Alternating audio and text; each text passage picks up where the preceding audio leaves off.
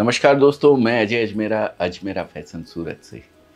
गणेश चतुर्थी की दोस्तों आप सभी को बहुत बहुत हार्दिक शुभकामनाएँ। दोस्तों अ, हमारे यहाँ भी गणेश जी विराजमान किए हुए हैं। पाँच दिन के लिए जो गौरी गणेश कहलाते हैं वो बच्चों ने विराजमान किए हैं। बच्चों के बहुत ही प्रिय देवताओं में से गणेश जी को माना जाता है। बच्चों को बहुत पसंद रहते हैं। इसीलिए हमने भी गणेश जी की स्थापना करी है।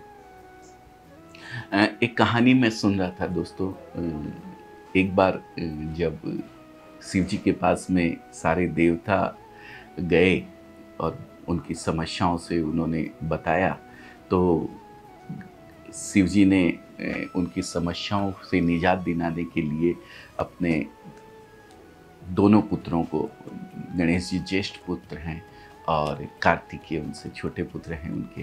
दोनों पुत्रों को उन्होंने बोला कि भाई इनकी समस्याओं को कौन हल करेगा?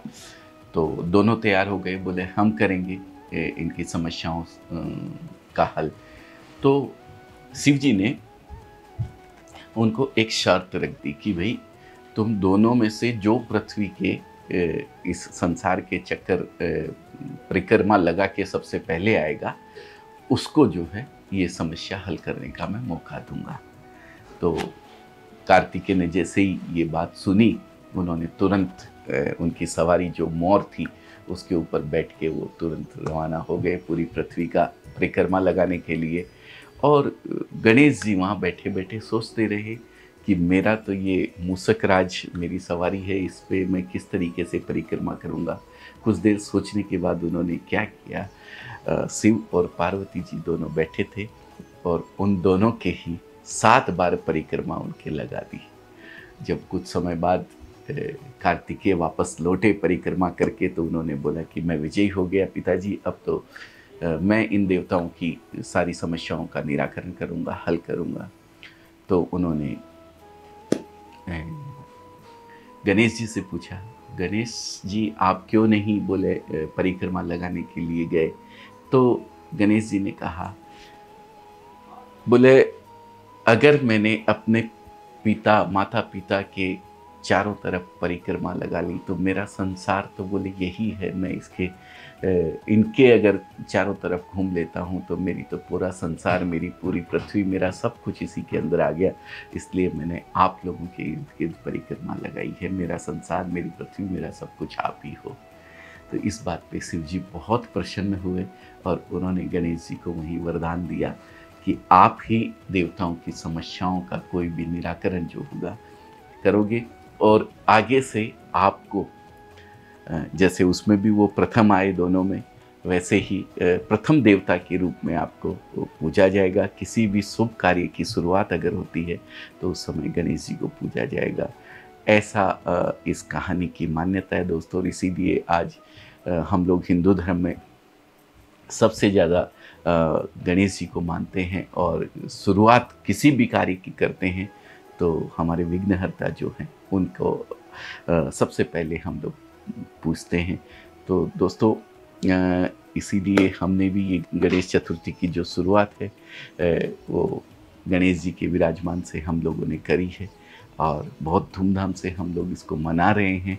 और जब पाँच दिन बाद विसर्जन होगा तो हम लोग इसके विसर्जन की भी पूरी तैयारी करके गणेश जी को यहाँ से विसर्जित करेंगे।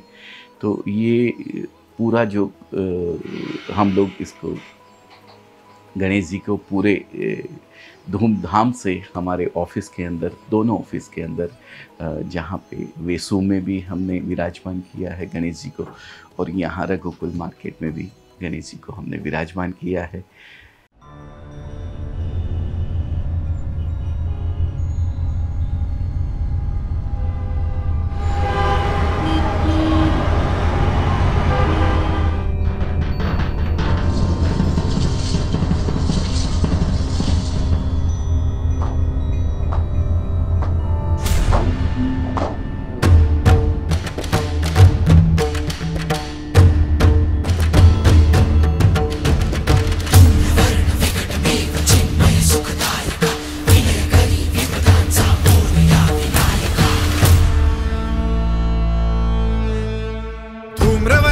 వెంకటమేవ చిన్మయ సుఖదాయక.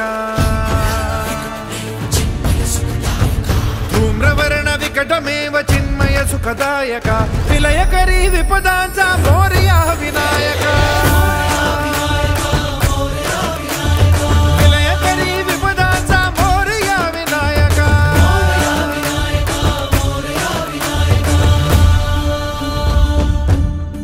वक्रतुण्ड महाकाय।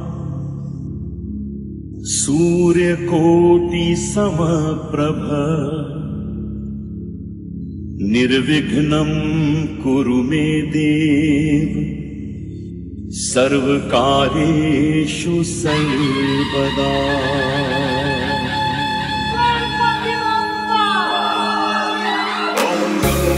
गणपतये नमो नमः। देवा देवाः गणपतिदेव सिद्धिविनायक नमो नमः। विघ्नेशतु मे तन्तु मयूरं मोरया तेरा देख गणरा